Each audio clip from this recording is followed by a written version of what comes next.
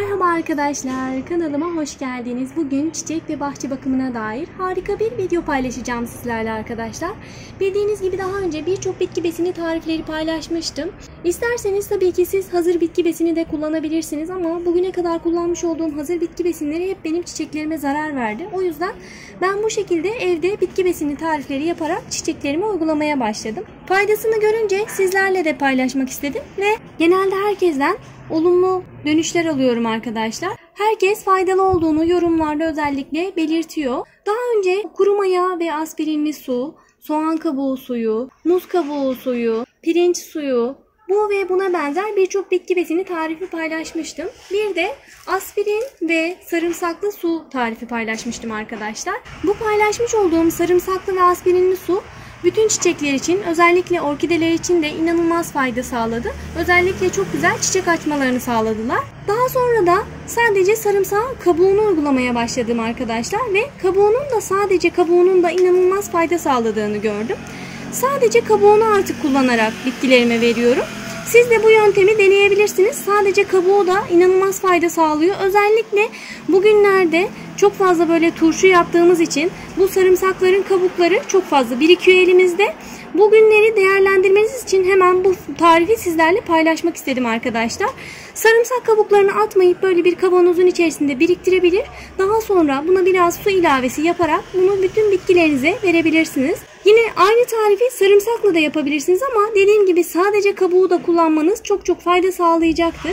Sadece kabukları vermeniz de yeterli olur. Sarımsak kabuklarını böyle bir kavanozun içerisinde biriktirebilir. Üzerine su doldurup böyle e, bitince tekrar üzerine su ilavesi de yapabilirsiniz. Ayrıca beklemesinin de herhangi bir zarar teşkil etmediğini gördüm. Siz de bu şekilde sarımsak kabuklarını kavanozun içerisinde bekletip çiçeklerinize verebilirsiniz.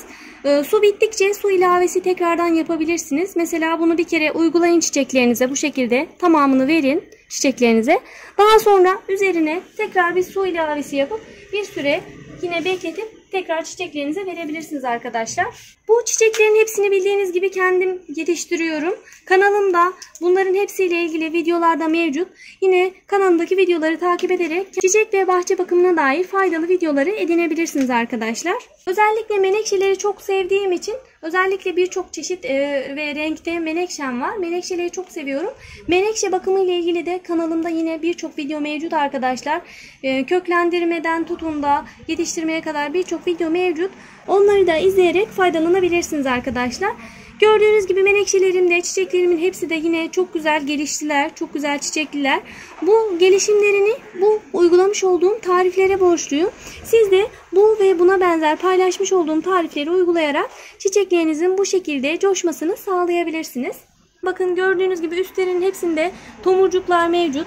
Yine bunların gelişimini de şöyle görebilirsiniz. Bakın çok güzel gelişiyor ve büyüyorlar. Siz de bu tarifleri deneyebilirsiniz. Farkı kendi gözlerinizle göreceksiniz zaten denediğinizde. Bunlar çiçeklerimin sadece bir kısmı. Burada birçok farklı çiçeğim var. Ve bunun dışında birçok çiçeğim var.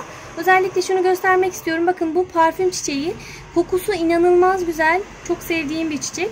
Şu kohlera çiçeği. Bununla ilgili de özellikle kanalımda videolar mevcut. Çok severek e, baktığım bir çiçek. E, yıl boyunca çiçek açan bir tür arkadaşlar. Yine şu dikenler tacı çiçeği. Bu da yine yıl boyunca çiçekli kalan bir tür. Özellikle çiçek açan bitkileri çok sevdiğim için genellikle böyle sürekli çiçek açan, e, çiçekli olan bitkileri yetiştirmeye çalışıyorum. Bu yaprak güzeli de daha önceki videomda mevcut arkadaşlar. Gördüğünüz gibi ne kadar büyüdü. Şöyle gösterebilirim bakın. Bir önceki videomda yine bunun çoğaltılması ile ilgili kısa bir video paylaşmıştım. Bakın ne kadar büyüdü ve gelişti. Bu da uygulamış olduğum tariflerin ne kadar faydalı olduğunu göstermektedir. Siz de bu şekilde sarımsakların kabuklarını atmayarak bu şekilde değerlendirebilir ve bitkilerinizin gelişmesini sağlayabilirsiniz arkadaşlar. Dediğim gibi özellikle bugünler turşu kurma günleri ve e, özellikle çok fazla sarımsak kullandığımız için bu sarımsakların kabuklarını atmamanız için özellikle bu kısa videoyu hemen sizlerle paylaşmak istedim.